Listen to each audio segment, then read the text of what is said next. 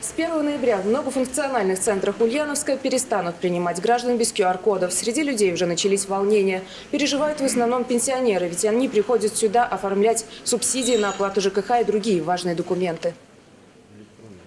Наша съемочная группа отправилась в офис организации на улице Гончаровая, пообщалась с посетителями. Одни напуганы предстоящими переменами, другие же нашли плюсы в антиковидной реформе. Ужасно. Ну, Зачем? Почему так?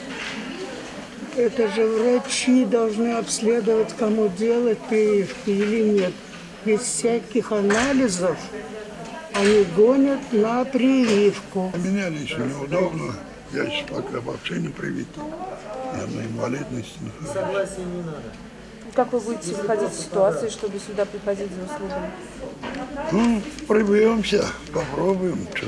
Ну, тут сложно сказать, на самом деле. Ситуация непростая. Возможно, это как-то скажется положительно на этом. А, Возможно, это будет усложнять процесс. С какой точки зрения народу будет меньше. Проходным билетом в МФЦ также будет служить отрицательный ПЦР-тест, сделанный за 72 часа до визита. Притом те, у кого есть медотвод от прививки, будут обслуживаться в прежнем режиме. А лицам до 18 лет и вовсе не потребуется никаких сертификатов. Кроме того, все услуги можно будет, как и раньше, оформить через портал госуслуги. Но вернемся к вопросу о пожилых ульяновцах. Известно, что далеко не все люди старшего поколения научились пользоваться смартфонами и компьютерами. Но, как утверждает Светлана Пенушева, выход из ситуации найден. Все услуги социальной защиты, а это услуги более 140, где э, любой человек старшего поколения или тот, который получает эти услуги, может написать э, собственноручно простую доверенность. Не нужно идти ни а, в какую нотариальную контору для оформления э, вот этого, э, вот этого разрешения.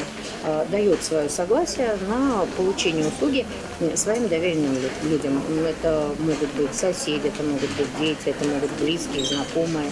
А 14-летним гражданам паспорта тоже будут выдавать по новым правилам. Если у родителей не окажется QR-кода, взрослые должны будут довести ребенка до входной двери. Там его встретят сотрудники МФЦ и после выдачи паспорта проводят на выход. Виктория Черкова, Артем Куранов, Улправда ТВ.